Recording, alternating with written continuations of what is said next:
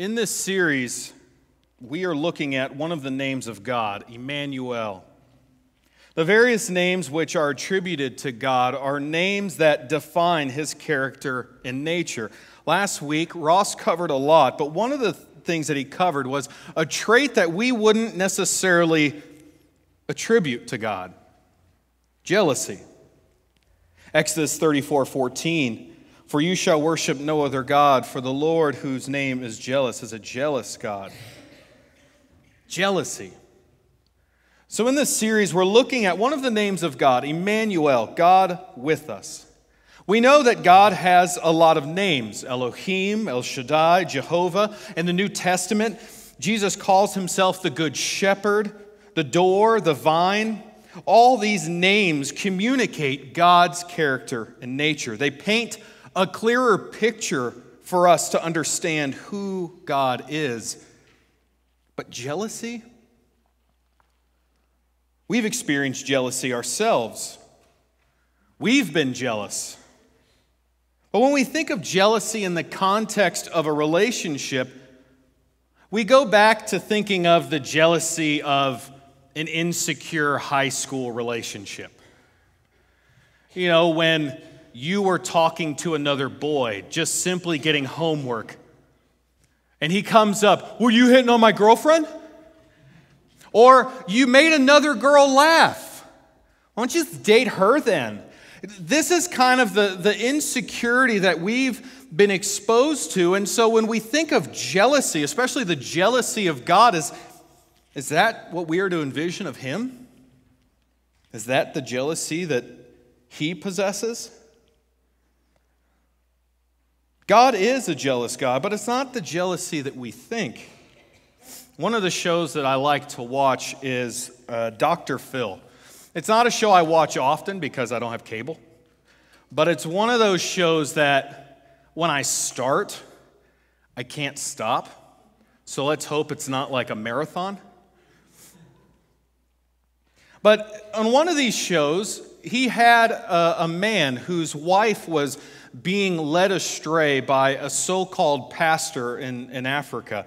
I mean, this guy was half her age. I mean, it was very clearly a, a, green card kind of situation. But she was in too deep. She was enamored. She was infatuated. But what I loved was Dr. Phil got her husband, Keith, on the phone with this so called pastor. And this is what Keith said to him all this stuff you're talking about, you're a Christian. Well, I don't know what Bible you're reading, but the one I read says that it's one man, one woman, and you don't covet your neighbor's wife. And also, I hope you don't think that I will give up willingly. This woman was a gift of God to me, and I will fight until the very end to save her. See, it's interesting. When we, when we hear this, we, will probably call this love, faithfulness, and certainly it is, but it is also jealousy. See, jealousy can be good.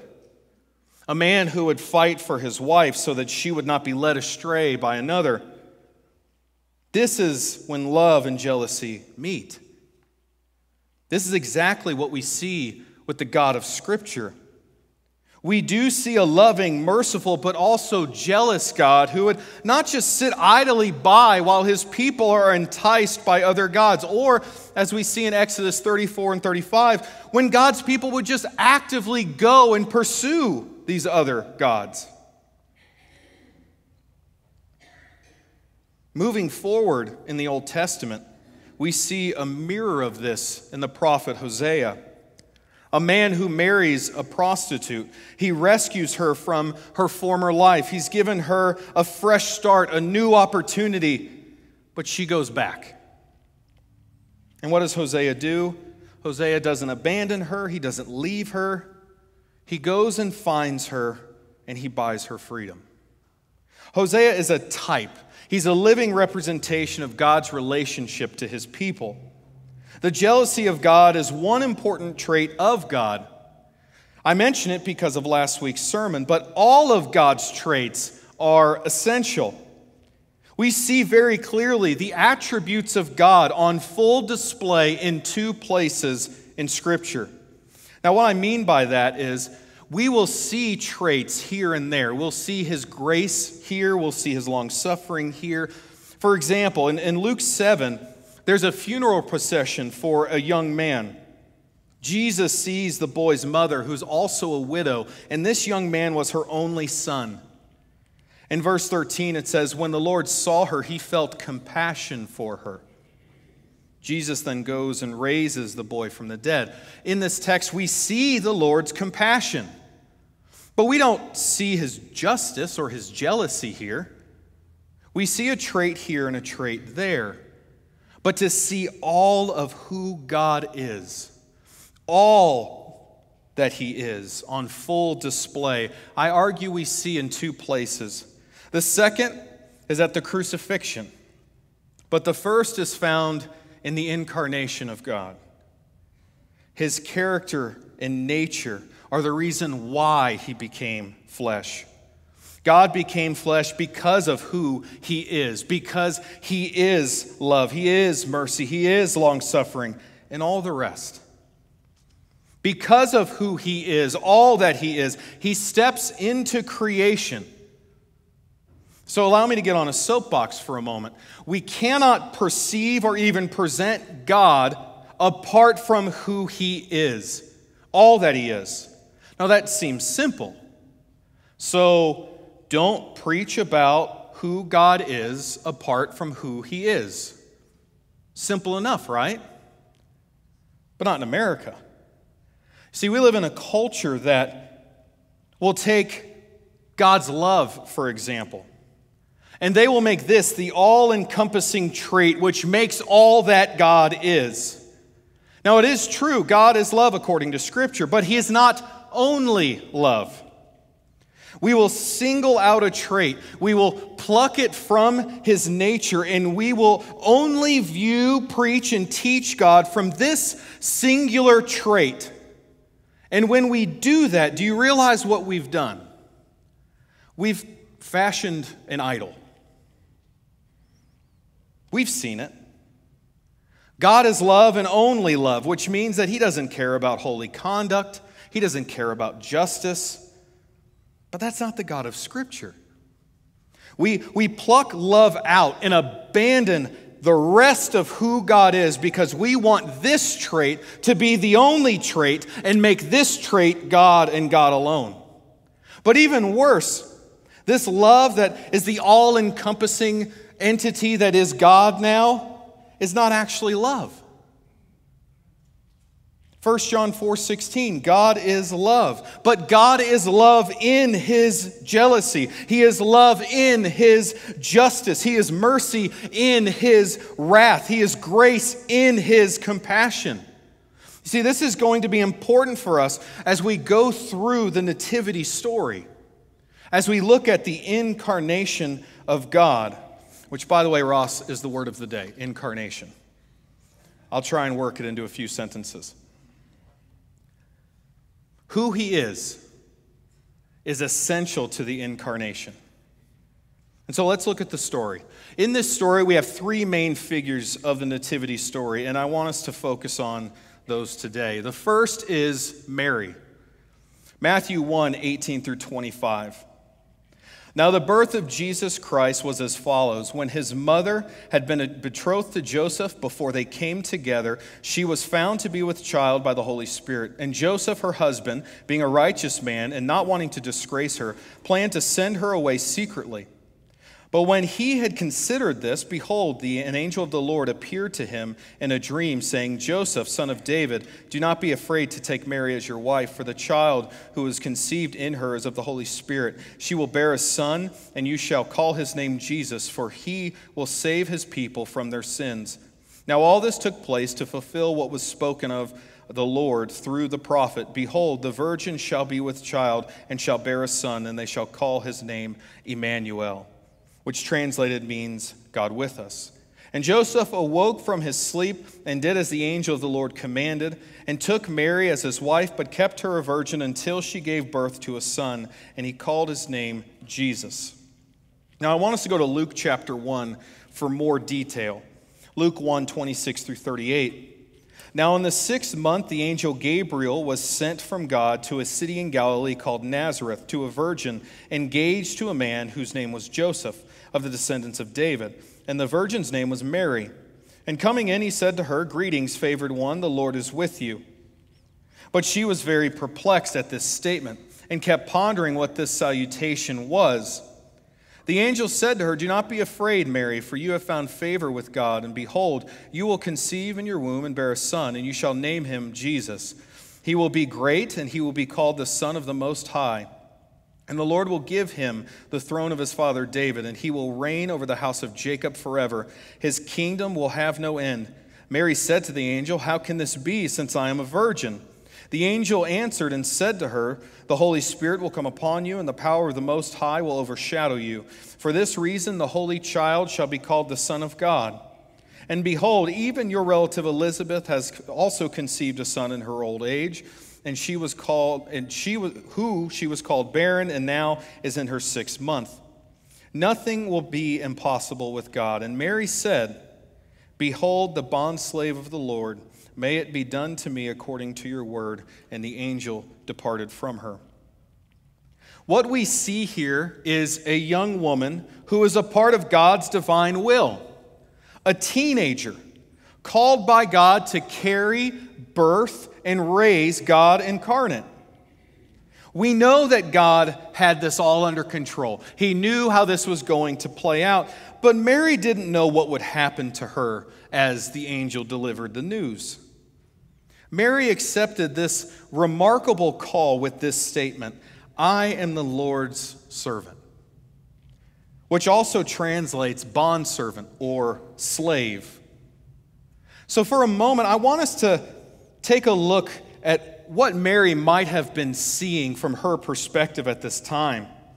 To accept this call might mean some very difficult times ahead. She was not married and she was pregnant. Now, up to this point, and then after, so up to this point, then we have Jesus, and then every child after was only born one way. There were not virgin births running rampant. Okay? So, for society, statistically, the chances of this happening, they wouldn't have believed it. They would have believed Mary to have been a sinner, having cheated on Joseph and unclean. Joseph would put her away, and even her own family would reject her. From Mary's point of view, there was a very real chance that she was going to be walking into homelessness, cultural shame, and single motherhood by accepting this call. But for Mary, her call far outweighed what the world might say or do. I am the Lord's slave, she said. The second person I want us to look at is Joseph. We read in Matthew that Joseph was going to, to call off the marriage, but he was going to do it quietly because he didn't want to bring shame to Mary. He didn't want to draw attention to her. Now, as far as Joseph knew, this woman betrayed him. And yet, Joseph's love for Mary went beyond the hurt that he may have felt. He didn't want her to be shamed. I think Joseph can be a good example to some men here. He was not about to drag Mary through the mud. Joseph possessed a remarkable love for Mary. We're beginning to see why God chose Mary and Joseph. An angel of the Lord appeared to Joseph in a dream and revealed what the Lord's plan was. That the child in Mary's womb was God incarnate, that the child is Emmanuel, God with us. The text says that Joseph did as the angel of the Lord commanded. But as an interesting side note, as you go back and read this story, I want you to notice that Joseph steps into the place of headship. Meaning that God appears to Mary telling her his will. Now, one would say Mary plays a huge part in God's plan for salvation. She's carrying the very one who's going to be the Savior of mankind. Pretty big responsibility. But notice, from that point forward, God only speaks to Joseph. When it comes to the safety of Mary and Jesus, God tells Joseph where to go. No more appearances to Mary, only Joseph. Joseph is the head, and he is to lead, serve, and protect his family. And Joseph steps into that role and does exactly that. But this brings us to the third main figure. Though he's third on our list, he certainly is the first. The entire narrative of Scripture is about him. He is the first and the last, the beginning and the end, the Alpha and Omega. He is Emmanuel, God with us. Here's where our focus will be for the remainder of our time together. I talked about this before, and I want us to hold fast to it. See, truth can be difficult to reconcile, especially when it appears, strong emphasis on appears, that there are two truths at odds with one another. What do I mean? Why would God be with us? Why is He Emmanuel? See, the answer is both simple and complicated. It's easy to grasp, but it seems to be impossible to hold on to at times. We can hear the truth, and it will be as clear as day, but it seems that when we try and call upon it later, our memory fails us. He is with us because He is Emmanuel. God became flesh because He loves you. Simple, isn't it? It's simple until we fall, as we do. And this simple truth becomes harder and harder to accept. God loves me. God is gracious. God is patient with me.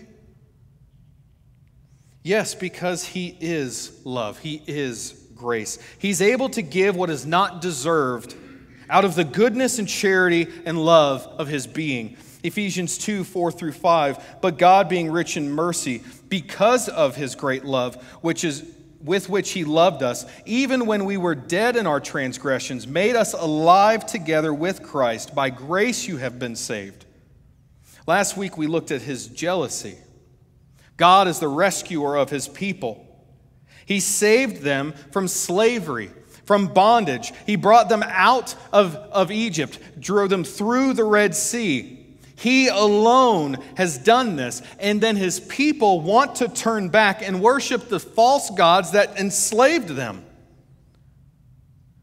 We move forward and we find Hosea. And as you read the story, you come to find we are just like Gomer. We've been rescued from the life that has left us empty and broken. See, Hosea took Gomer as his wife, just as God has taken the church to be his bride. But his bride goes back. We do the same thing. We go back to the very things that enslaved us, the sin that we worshiped before we knew him as Savior.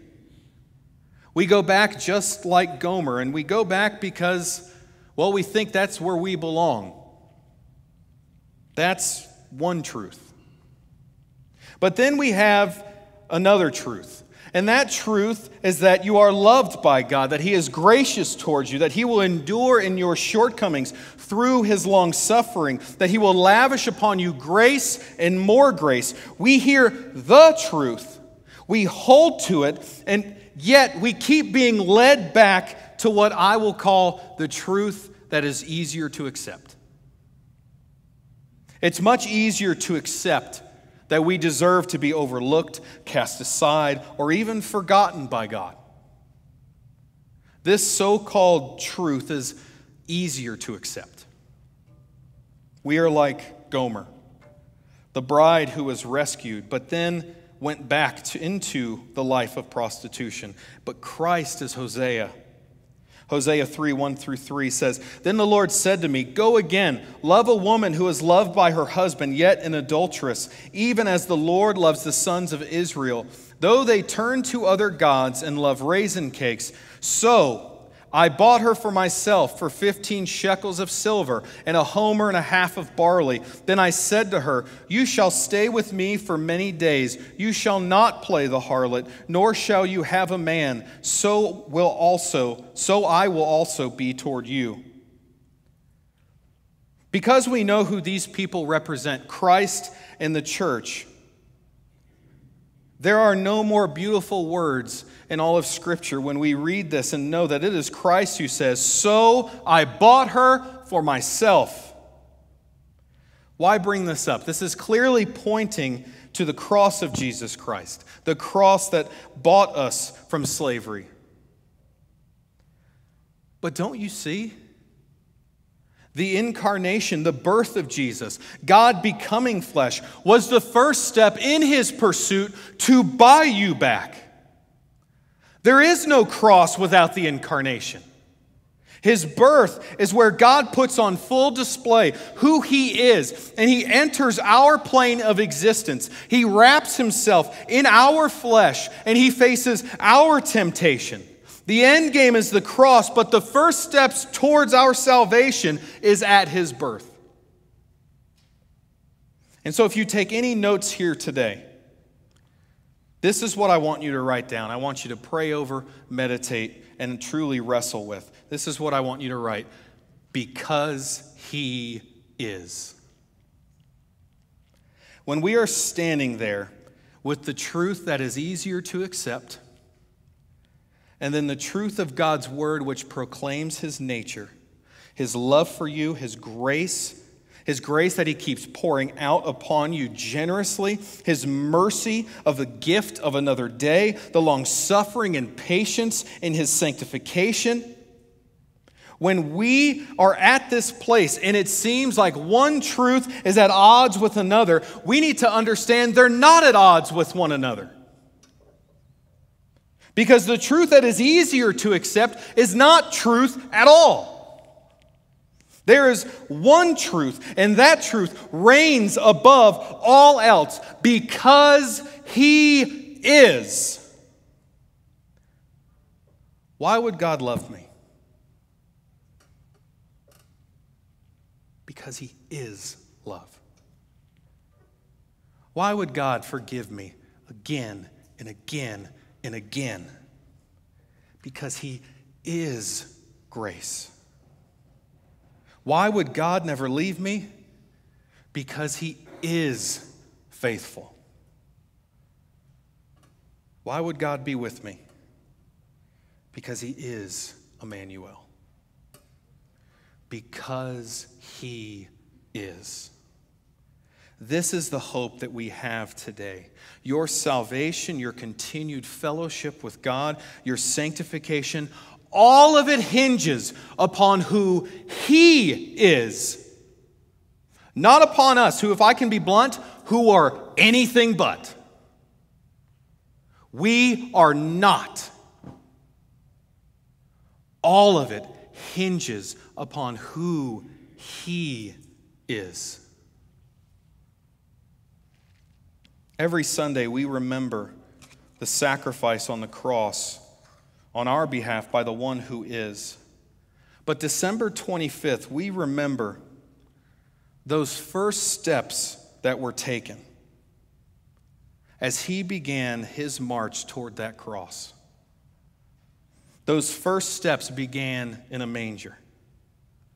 The manifestation of all of who God is the rescue of his bride began when there was no room for him at the inn.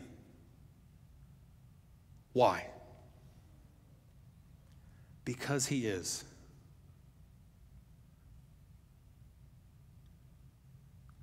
When we are at that low point, whether it's, whether it's because we've, we've succumbed, we've fallen to sin yet again, or maybe the holiday season is just a difficult time when we read through Scripture and we see all of these names that describe who God is, we need to understand this is not a, a, plucking out of a single one and then neglecting the rest. No, this is who He is. He cannot be anything else. He cannot be not love, as dumb as that sounds.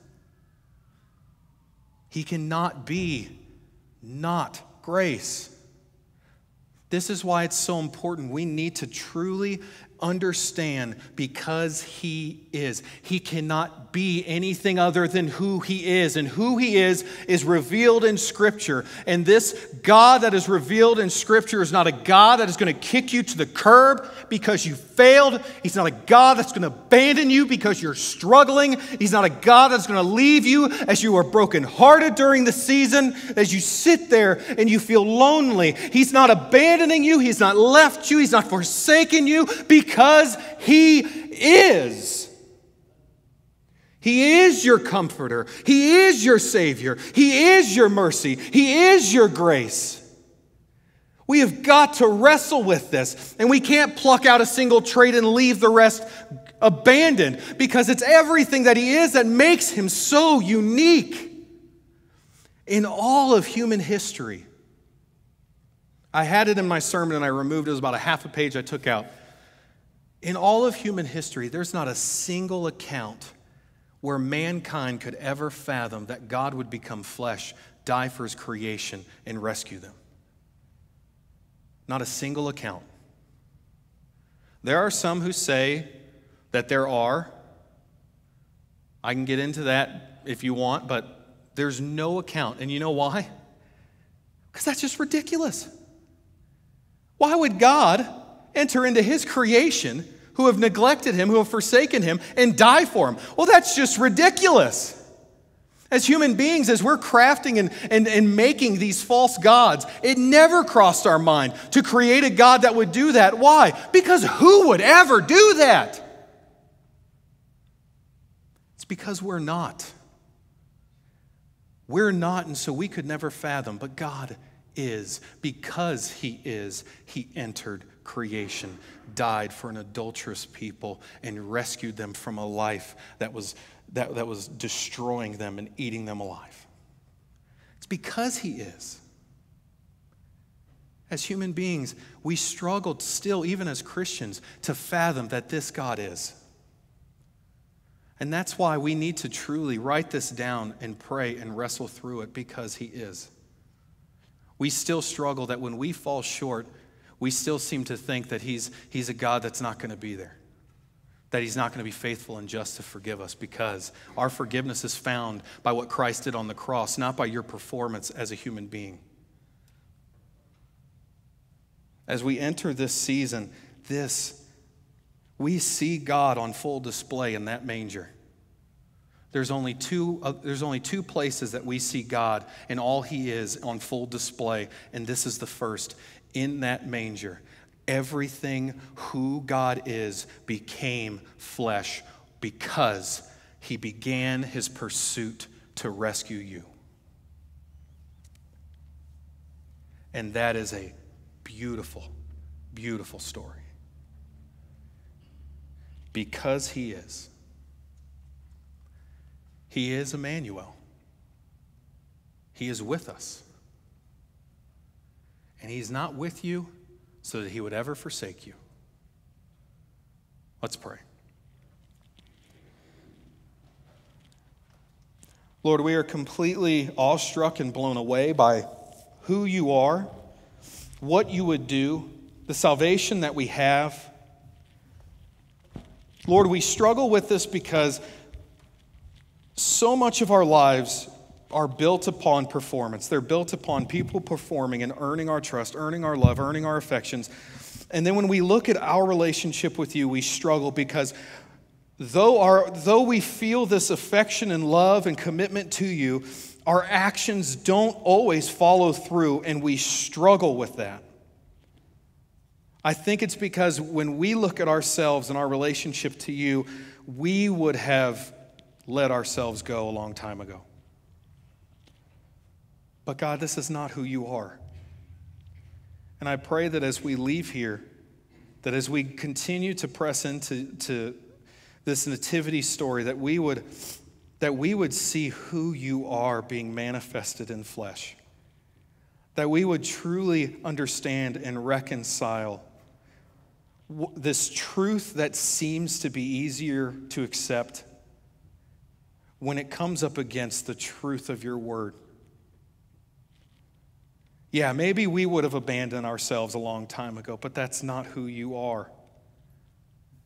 Lord, remind us day after day of your incredible long suffering, of your patience, of your mercy, of your grace, of your compassion that you have for us in the midst of our sin and our suffering. Because as Hebrews says, we do not have a high priest that does not empathize. Ultimately, Father, our deepest prayer is that we would come to an understanding and trust in who you are. That we would not impose who we are upon you, but that we would let you and your word speak for yourself. And that our hearts would completely trust you. During this time, Lord, we ask that you would convict us, open up our hearts, open up our minds, that we can wrestle with because you are. That we would truly come to know you in a deeper way. And maybe for the first time, come to know you. It's in Jesus' name we pray. Amen.